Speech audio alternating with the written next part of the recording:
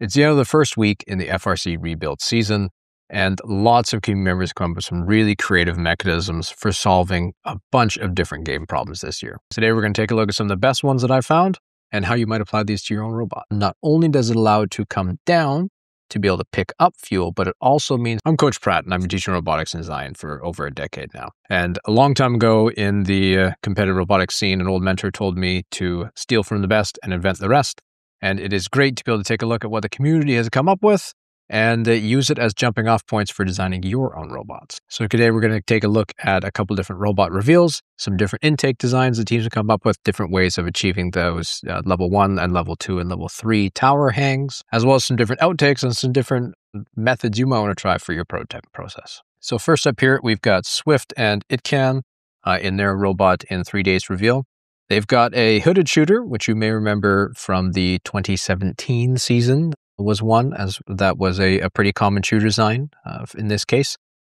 Also, you've seen a lot of hooded shooters coming out of the uh, FTC Decode season as well, because that's also something that's popular. Uh, something I like they're doing on the side of their design here is that they have a intake that's capable of. I'm not sure how far this is, but it does. It is on some linear rails, so it's able to reach out beyond their robot as well as kick it back in.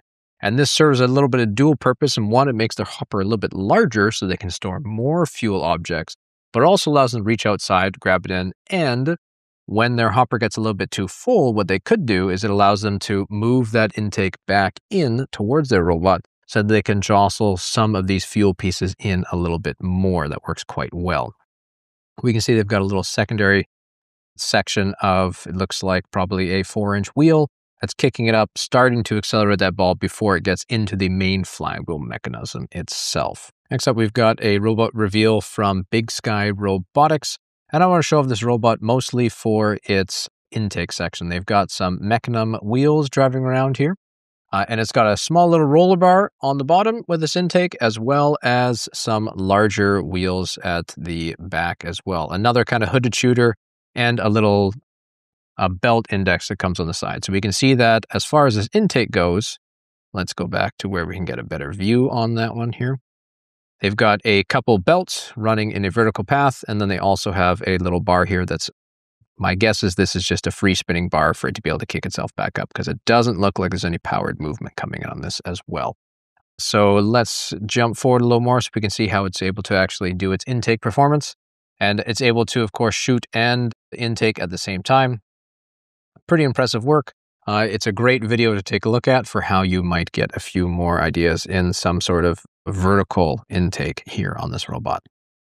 Next up, we've got Monkey from the FANGV robot and the first alumni networks in Grand Valley reveal here. They've got a similar looking intake in that they have a flat roller bar at the front and a slightly flexible sheet of plastic in the back that's able to bump itself back up, and another set of compliant wheels that are able to bring itself back up in Pretty effective little intake, obviously made a little bit wider. Things work perhaps be able to pick up a little bit more in those. But again, these aren't meant to be a you take this you run with it.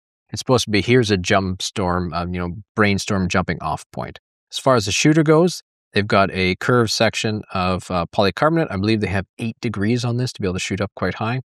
They have one roller that serves to initially speed up their flywheel, and then have the main flywheel section itself all the way up and it's got a pretty accurate shot when it's about pretty darn close to where the hub would end up being. Nice thing about this design is that rather than only allowing one fuel to come through at a time, it's wide enough that you could realistically have two pieces of fuel stacked in side by side. So it ends up getting a little bit higher throughput than a design that might only allow for a single piece of fuel coming through at a time. Making that flywheel a little bit wider with some more inertia on that uh, flywheel itself might also help improve some of these things. Next up here, we've got a robot reveal from Sherbrooke RapidUS.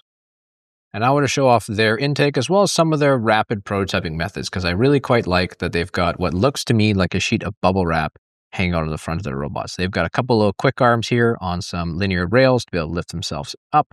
Not sure whether that is powered, uh, but it's capable of lifting itself up to level one and then bring itself back down to level one, especially on autonomous when you want to pick yourself up and then you have to bring yourself back down to, of course, be able to compete. Uh, this is what I was talking about here. You got a sheet of bubble wrap that stops these fuels from flying up really far. Looks like their intake is also capable of rotating up and down on uh, some sort of a revolute or pivot joint up here as well. Uh, but this is a good way of sort of very lo-fi way of stopping those uh, fuel from being launched too far from something that might be too aggressive of an intake. Also, as well as they do a quick pause here, let's see if we can unpause it when they stop it. They do have some boot kickers as well here for their intake, as opposed to compliant wheels that other teams have done, and their boot kickers seem to be pretty effective at being able to pick up fuel as it comes into the robot as well. So it looks like boot kickers is also a pretty legitimate strategy moving into this season. Uh, switching gears a little bit here, I want to talk about prototyping methods that your team can use moving in. And the, I really want to highlight first in their MIT section here, and that when they're doing the rapid prototyping, the rapid ideation for the design cycle, they're using lots of cardboard here just to be able to test their ideas. Far too often, robotics, I see students uh, come up with one idea right away and then just trying to cat it out or trying to design these things in sort of high fidelity parts. You really want to start your design process in a low fidelity process, things like cardboard to see do these things fit, do these concepts work. I mean, you can see they've literally just got a drill here with a long shaft that they've uh, put a few different uh, compliant wheels on just to check whether their their initial ideas are even going to hold any water or not. And it's a great way of prototyping a lot faster. Despite feeling like it's going a little bit slower, it actually ends up speeding you up in the end.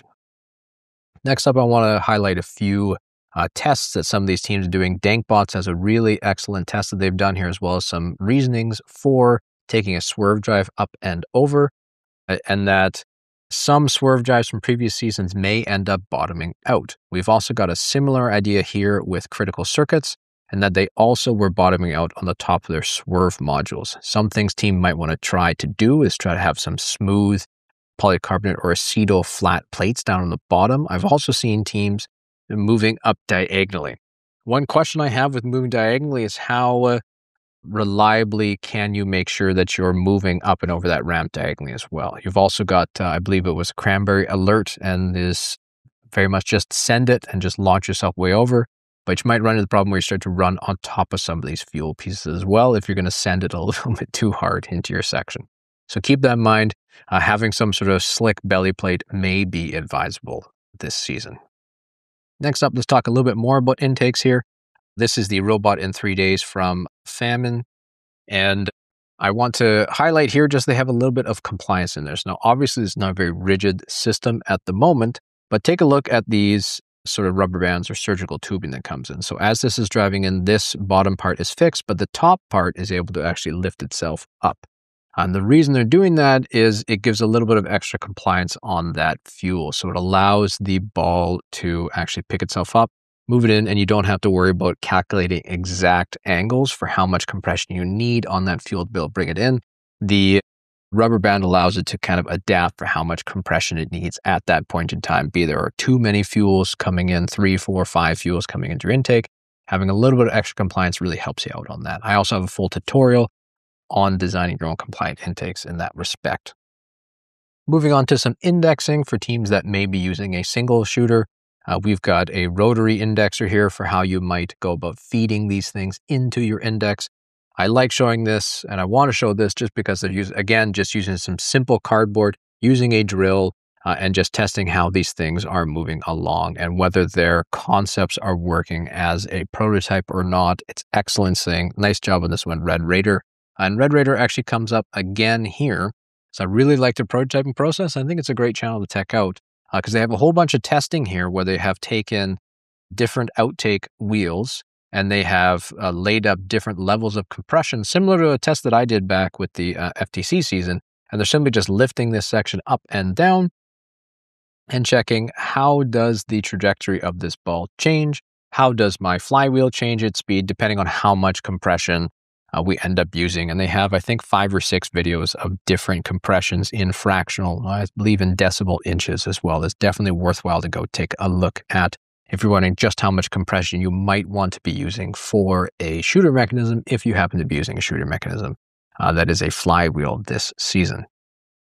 I also want to take a look at another outtake here for teams that this looks like this is eventually going to be a hooded shooter and that they have a or an adjustable hood shoe. They've got a gear on the back here that would allow them to be able to change the angle of that hood so they can have different trajectories. Another thing on the flywheel is they've got a big chunk of steel on the back of that. And having that big chunk of steel on a flywheel allows that flywheel to keep itself having a little bit more inertia so you can have a higher throughput through. And especially in this season, having a high throughput is going to be really important to the success of your robot. Case in point, I want to show this robot here for higher throughput. It is FRC 868 uh, Tech Hounds, and this is their robot Rust Hounds uh, for the robot in three days. So they've got a rather wide intake, similar to robot we are sorry, not intake, outtake that we saw similar to the other section four, and that they're capable of firing a couple balls in here. I also like that their intake is capable of moving up and down. Not only does it allow it to come down to be able to pick up fuel, but it also means that they can move fuel back closer to their eventual outtake mechanism. And it ends up with a really high throughput. Having high throughput this season is going to be really critical, I think, for where teams are going, particularly if you have some really high uh, ranking point thresholds, like that supercharged threshold that requires 360 uh, to be able to get that ranking point in. And not only that, but it's also the only the district champs, which means when it comes time for your regional championships and your worlds, first is likely going to increase those values as well. So they'll only continue to get higher than 360 uh, in that respect. And last up here, we've got a, a really creative level three lift from this robot. They actually don't have to get any higher than level one, but they've got a ratcheting cam here that's able to lock itself onto this piece of plywood, lift the entire robot up and over, and rules as written state that you only need to have the bumpers above the second rung to be able to score a level three hang. So looking at this would actually allow you to have a level three hang for a pretty simple mechanism. It's simple and clever, uh, and it perhaps one of those things where it's simple, but it is not easy. If you have a robot or a piece of tech or an assembly that you think the community would benefit for, I've got a submission form down below where you can submit either your robot, your team's prototyping skills, and the videos that you've done, Instagram, Facebook, YouTube, whatever have you. You can fill out that form and potentially be featured. If you want to access some more CAD files, things like that, you consider joining my community down below. And as always, best of luck out there this REBUILT season.